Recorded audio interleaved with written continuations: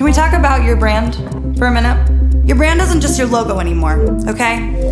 Your brand is the sum of every single interaction that you have. Meaning, what your customers or employees experience when they interact with your brand is your brand. So the question is how are your people experiencing your brand? I mean, do they see you as the bank they've been doing business with for half their life that still doesn't know their name? Or do they see you as the local coffee shop that already has their cup ready to go when they get there? That is Ada. Ada is the only automated brand interaction platform that makes everyone you interact with feel like a VIP.